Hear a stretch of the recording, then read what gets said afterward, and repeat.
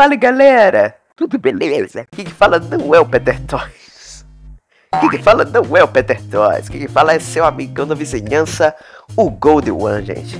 E bom galera, nesse vídeo eu vou refazer aquelas capas antigas do Peter Toys, mano. Quem lembra, velho, daquelas capas antigas do Peter Toys? E aqui o amigo da onça. Fala aí, amigo da onça.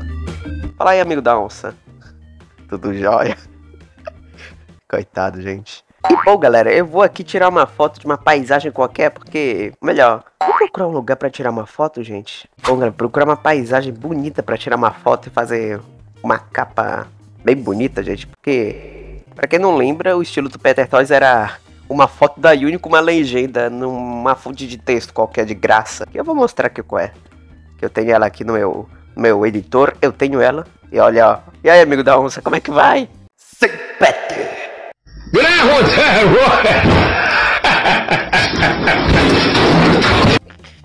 Vai, amigo da onça. Vou tirar foto da escola, gente, não.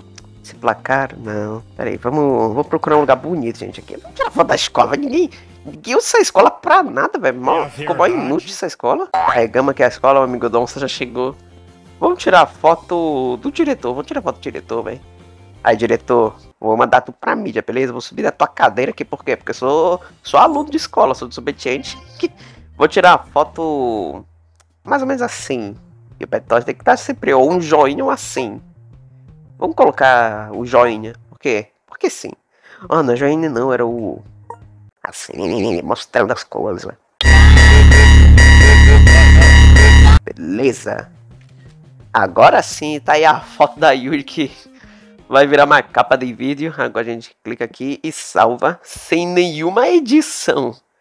E agora, galera, o poder da edição vai mostrar para vocês que eu vou primeiramente editar a foto, deixar como o Peter Toys faria, algo do tipo, que não vai mudar quase nada, vocês vão ver o porquê. E depois vou mostrar a minha versão, como é que ficaria se Gold One fizesse as capas. Então, galera, obrigado a todo mundo que acompanhou essa gameplay de PKXD e